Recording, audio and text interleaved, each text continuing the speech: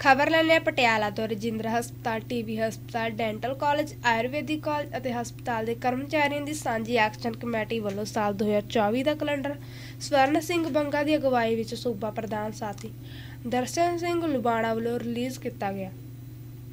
ਉਪਰੰਤ ਇਕੱਤਰ ਹੋਏ ਸਾਥੀ ਨੂੰ ਸੰਬੋਧਨ ਕਰਦੇ ਸਾਥੀ ਲੁਬਾਣਾ ਜੀ ਨੇ ਕਿਹਾ ਕਿ ਸਾਲ 2024 ਸਰ 23 ਸਰਕਾਰ ਅਤੇ ਅਫਸਰਸ਼ਾਹੀ ਦੇ ਲਾਰੇ ਲੁਪਾਰਿਆਂ ਵਿੱਚ ਬੀਤਿਆ ਮੁਲਾਜ਼ਮ ਵਰਗ ਦੇ ਹੱਥ ਇਸ ਸਾਲ ਖਾਲੀ ਰਹੇ, ਪਰੰਤੂ ਹੁਣ ਸਮਾਂ ਇਕਜੁੱਟ ਹੋ ਕੇ ਸੰਘਰਸ਼ਾਂ ਰਾਹੀਂ ਸਰਕਾਰ ਤੇ, ਸਰਕਾਰ ਅਤੇ ਅਫਸਰ ਸਾਈ ਤੋਂ ਆਪਣੀਆਂ ਹੱਕੀ ਮੰਗਾਂ ਮਨਵਾਉਣ ਲਈ ਅੱਜ ਤੋਂ ਹੀ ਕਮਰ ਕੱਸ ਲੈ ਜਾਣ। ਸੰਘਰਸ਼ਾਂ ਲਈ ਤਿਆਰੀਆਂ ਆਰੰਭ ਕਰਨੀਆਂ ਹੋਣਗੀਆਂ। ਜਲਦ ਹੀ ਵਿਭਾਗ ਪੱਧਰ ਤੋਂ ਲੈ ਕੇ ਪੰਜਾਬ ਪੱਧਰ ਤੇ ਸੰਘਰਸ਼ਾਂ ਦਾ ਐਲਾਨ ਹੋਵੇਗਾ। ਸਾਥੀ ਸਵਰਨ ਸਿੰਘ ਬੰਗਾ ਨੇ ਸਮੂਹ ਸਾਥੀਆਂ ਨੂੰ ਨਵੇਂ ਸਾਲ ਦੀਆਂ ਮੁਬਾਰਕਾਂ ਦਿੰਦਿਆਂ ਸਾਥੀ ਦਰਸ਼ਨ ਸਿੰਘ ਲਵਾਣਾ ਜੀ ਨੂੰ ਮੋਢੇ ਨਾਲ ਮੋਢਾ ਜੋੜ ਕੇ ਚੱਲਣ ਦਾ ਵਿਸ਼ਵਾਸ ਦਿਵਾਇਆ।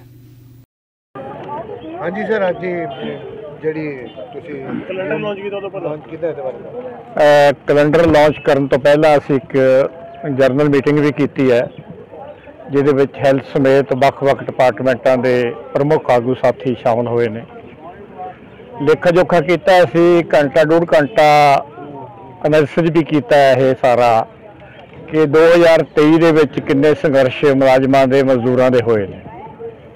ਉਹਨਾਂ ਸੰਘਰਸ਼ਾਂ 'ਚ ਪ੍ਰਾਪਤੀਆਂ ਕੀ ਹੋਈਆਂ ਨੇ? ਕਿਸ ਤਰ੍ਹਾਂ ਉਹਨਾਂ ਸੰਘਰਸ਼ਾਂ ਨੂੰ ਆਮ ਆਦਮੀ ਪਾਰਟੀ ਦੀ ਸਰਕਾਰ ਨੇ ਕੁਚਲਿਆ ਉਹਨਾਂ ਨਾਲ ਜਾਤੀਆਂ ਕੀਤੀਆਂ ਨੇ। ਉਹਨਾਂ ਤੇ ਤਰ੍ਹਾਂ ਤਰ੍ਹਾਂ ਦੇ ਕੇਸ ਬਣਾਏ ਨੇ, ਭਾਵੇਂ ਕਿਸਾਨੀ ਵੀ ਉਹਦੇ ਵਿੱਚ ਹੈਗੀ। ਉਹ ਸਾਰਾ ਐਨਾਲਿਸਿਸ ਕਰਕੇ ਅਸੀਂ ਹੁਣ ਕੈਲੰਡਰ ਸਾਥੀ ਰਾਮਕਿਸ਼ਨ ਜੀ ਦੀ, ਸਾਥੀ ਸਵਰਨ ਬੰਗਾ ਜੀ ਦੀ ਅਗਵਾਈ ਦੇ ਵਿੱਚ ਅਸੀਂ ਜਾਰੀ ਕਰ ਰਹੇ ਹਾਂ।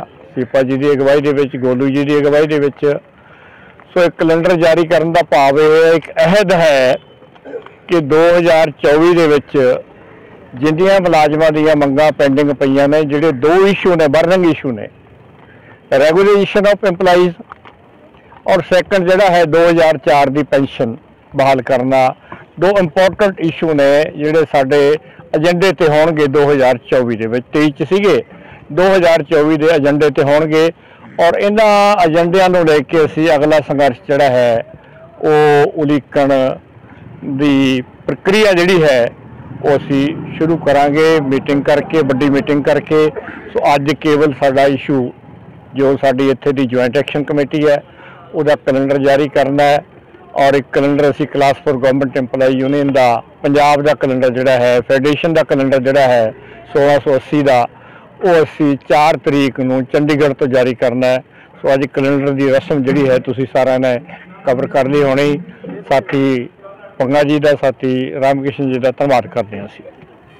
ਜੀ ਸਰ ਅੱਜ ਕੈਲੰਡਰ ਜਾਰੀ ਕੀਤਾ ਤੇ ਵਰਕਰਾਂ ਨਾਲ ਮੀਟਿੰਗ ਕੀਤੀ ਹੈ। ਕਿੱਦਾਂ ਦੇ ਮੁੱਦੇ ਰਹੇ ਸਭ ਤੋਂ ਪਹਿਲਾਂ ਤਾਂ ਤੁਹਾਡੇ ਮਾਧਿਅਮ ਰਾਹੀਂ ਸਮੁੱਚੀ ਜਿਹੜੀ ਮੁਲਾਜ਼ਮ ਕਮਿਊਨਿਟੀ ਹੈ ਉਹਨੂੰ ਨਵੇਂ ਸਾਲ 2024 ਦੀਆਂ ਲੱਖ ਲੱਖ ਵਧਾਈਆਂ।